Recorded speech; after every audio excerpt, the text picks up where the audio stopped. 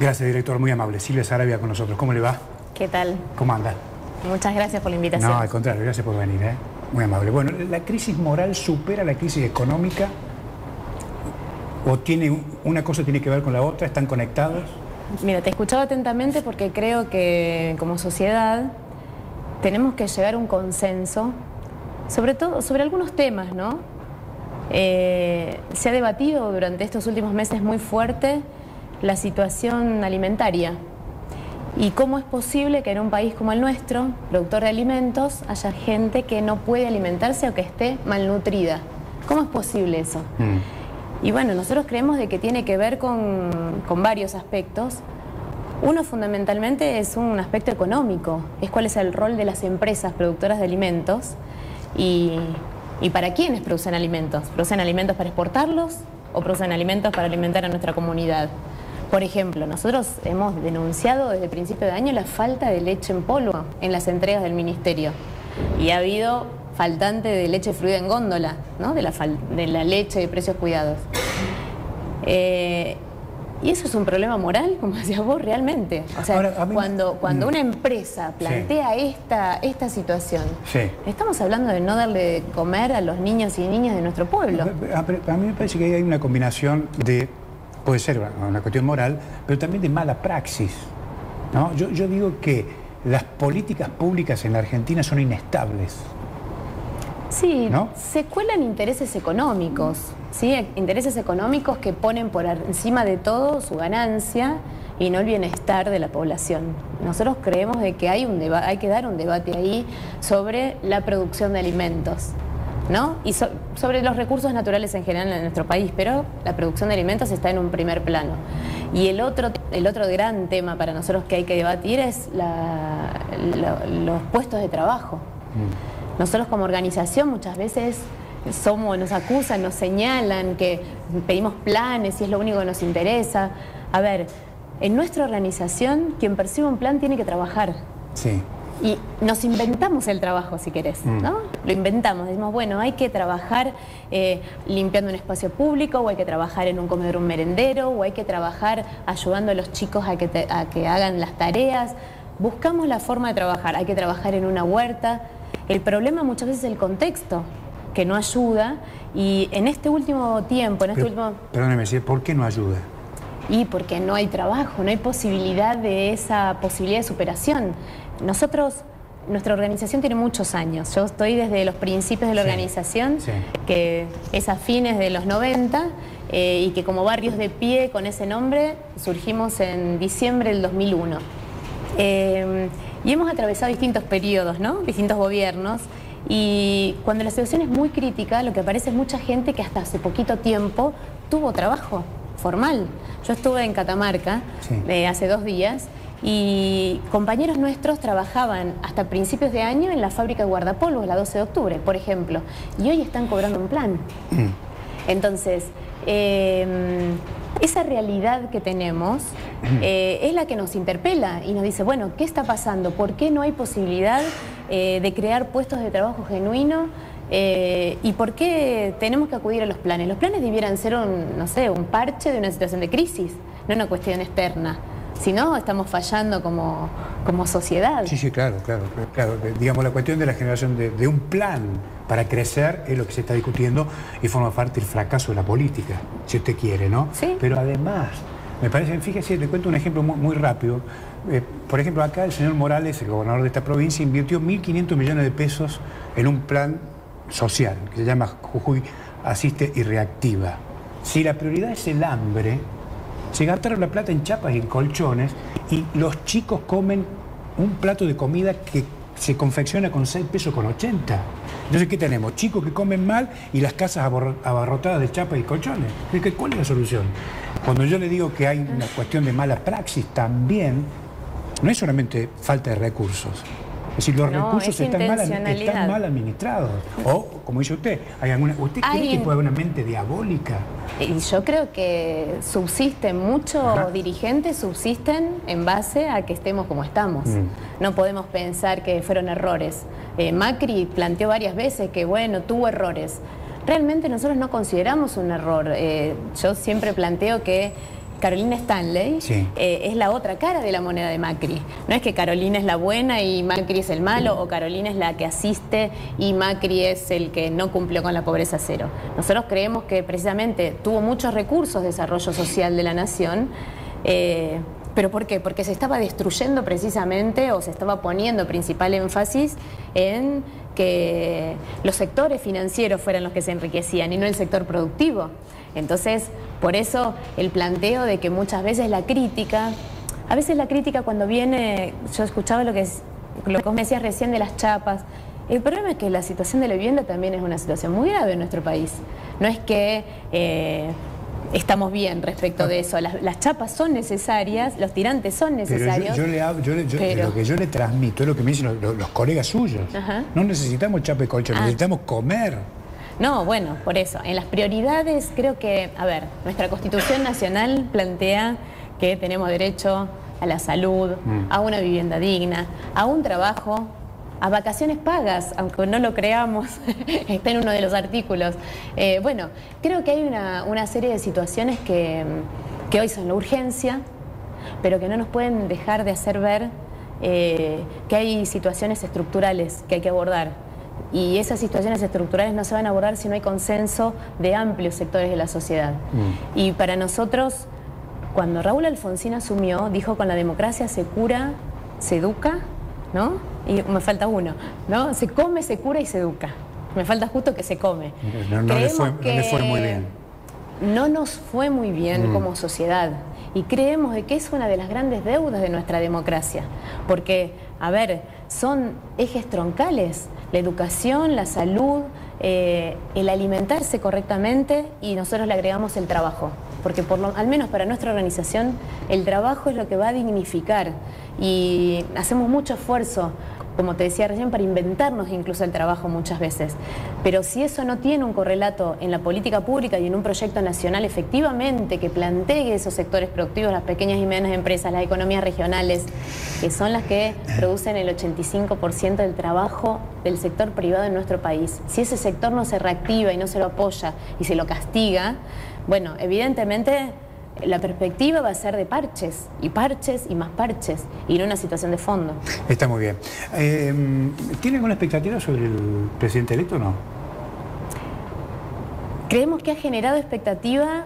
Eh, nosotros no fuimos parte del Frente de Todos, nosotros eh, apoyamos a La Baña como candidato a presidente, y, pero creemos que él ha tomado dos ejes que son muy sensibles.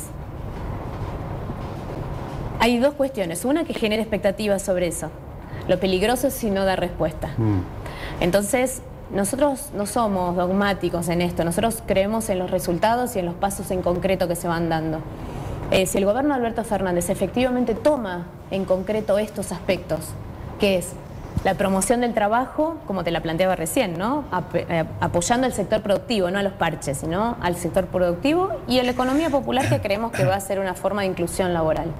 Eh, y al tema de, la producción de alimentos, porque si no, no sé, nosotros tenemos plena conciencia de que el hambre no se termina de discutir de fondo y la malnutrición no se resuelve de fondo si no se discute la producción de alimentos.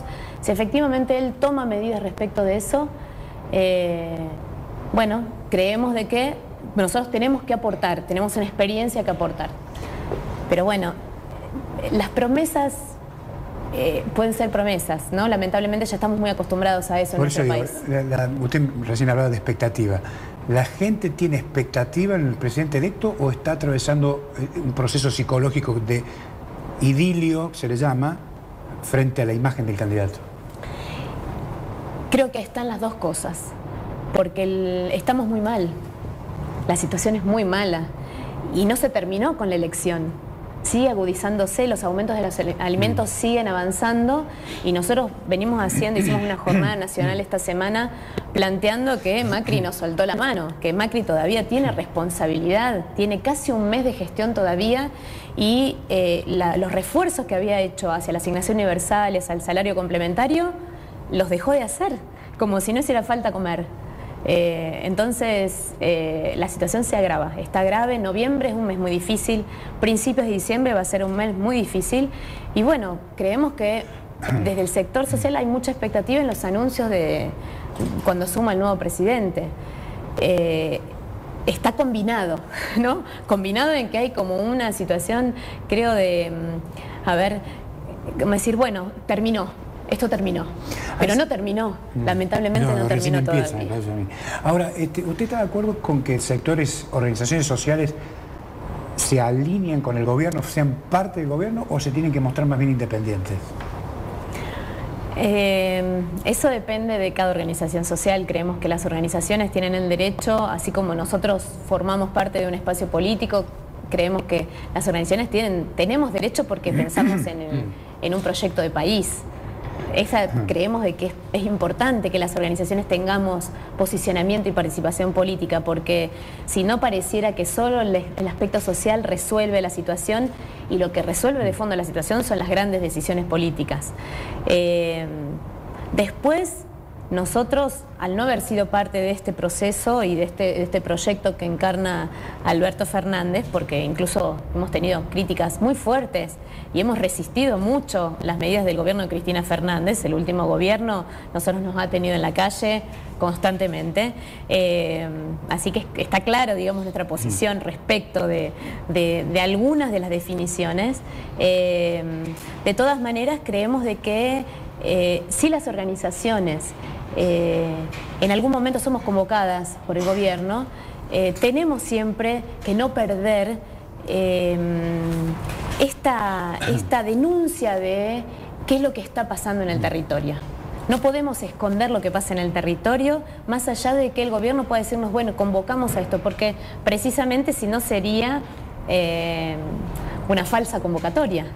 Si efectivamente un gobierno nos convoca, nos convoca con, todo nuestro, con todo nuestro, nuestro contenido y nuestra experiencia. Eh, y bueno, creemos de que, de que efectivamente no perder esa, esa denuncia, esa visibilidad de lo que sucede en el barrio mientras se toman determinadas medidas, bueno, es, lo, es la riqueza ¿no? de convocar una organización.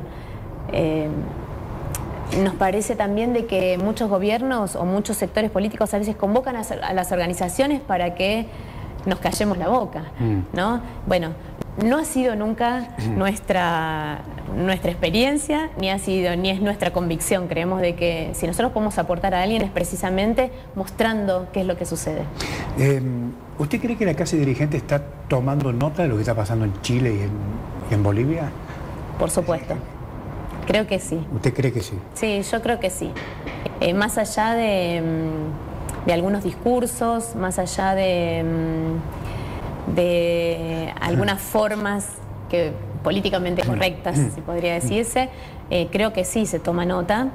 Eh, creo también de que mm, lo que está sucediendo, como todo proceso, también la clase dirigente la digiere y, la, y, la, y le, da su propia lectura o su propia interpretación. Pero bueno, hay, hay, hay, varias situaciones, no solo la de Chile y la de Bolivia, sino también lo que está sucediendo en Ecuador. Sí, sí, claro. Eh, creemos de que mm, son procesos para, para prestar atención y que, que sería interesante de que no, no queden eh, desde la dirigencia política, eh, no, quede, no, se lo simplifique sino que se tome todo el contexto de lo que está sucediendo, porque efectivamente eh, son, situaciones que tienen, mucha tienen muchos aspectos, muchos aspectos que no pueden ser leídos linealmente, ¿no?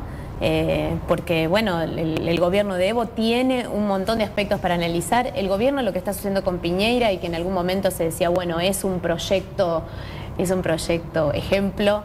Eh, bueno, evidentemente lo, que se está mostrando hoy son facetas muy, muy dramáticas y, muy, eh, creo que que poco políticamente correctas, ¿no? digamos, ¿no? A, los fines de lo que ese modelo quería mostrar. Bueno, ¿qué, está pasando en Argentina que no reacciona si le encontramos algunos, algunas cuestiones este, similares, con matices, lo que usted quiera? ¿Qué está pasando que en Argentina no, no se reacciona como se está reaccionando en los otros países? ¿Es el peronismo? ¿El que está haciendo de dique de contención? No, creo que hay algunas políticas que, se ha dado el macrismo eh, que,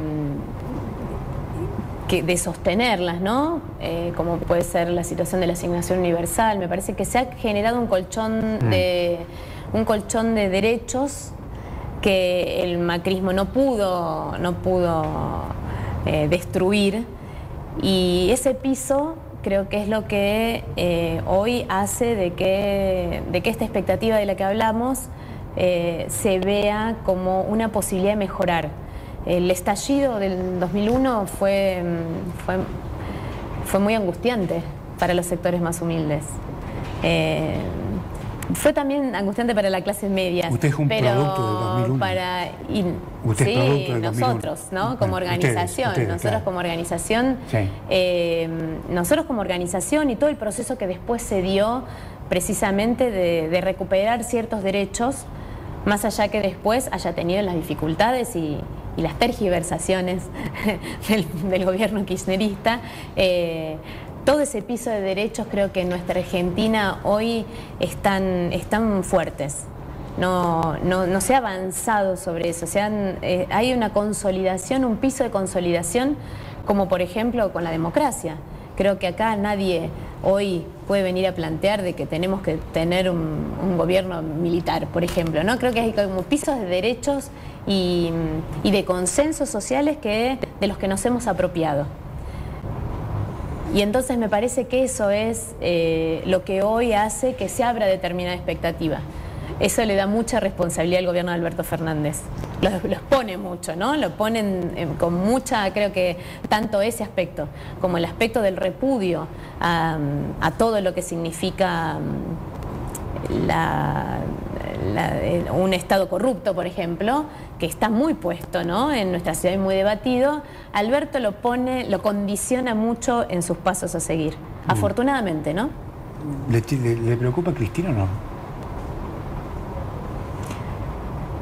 Es. Veremos cómo se desarrolla la situación. Creo que Cristina ha sido muy utilizada incluso por el macrismo para poder consolidarse en el poder y para poder consolidar una posición como la que consolidó en los datos, sus últimos votos, digamos, esa consolidación de un espacio que incluso creo que no lo apoya Macri eh, en forma convencida, pero sí que le teme a Cristina. Entonces creo que ha sido un mecanismo que a lo largo de todo el gobierno el macrismo utilizó eh, para esto, ¿no? para consolidar un espacio opositor. Veremos cómo, resulta, porque creo que también eh, Alberto Fernández ha, mm, ha, tomado nota de ello y, este es un país muy presidencialista, ¿no? Entonces veremos eh, cuán audaz es y cuánto, cuánto toma y cuánto lee de esa situación porque efectivamente necesita consolidar un gobierno en una situación económica muy, muy compleja. Sí, claro, y, necesita un contexto internacional complicado. Exactamente. Más Cristina. Exactamente. Gracias por venir. ¿eh? Gracias a vos. Ha sido muy atenta. Silvia Sarabia, ¿eh? que es la coordinadora nacional de Barrio de Pie, está de visita en la provincia de Jujuy. Nos reencontramos el, el lunes. Chao.